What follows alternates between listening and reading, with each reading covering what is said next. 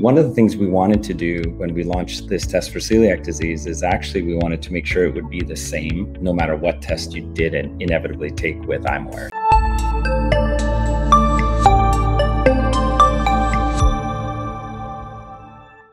We had to think ahead and, and, imagine a day where we were doing glucose testing, heart disease testing, prostate cancer testing. And so we designed a process that would work for all of these types of tests. And so celiac disease is a tough one because you have to be ingesting gluten for a period of time before you take the test. And so we made it as easy as buying something from Amazon. In fact, we sell imaware on Amazon. So you can go learn about this condition, understand if this is you based on symptom checker, making sure that in fact, yes, this feels like what I'm experiencing. You order that test for yourself, but we actually have telemedicine physician oversight, which means there's actually a doctor helping order that test, requisitioning it just like they would normally if you went to a big lab draw site. And then instead of you having to go to the lab, you know, and find a parking spot and take day time off work, we just send you this kit. It's not much bigger, you know, than my cell phone, and it's very easy to use. Just open it up. It asks you to go online and activate that kit and get it ready for testing. So, you know, making sure that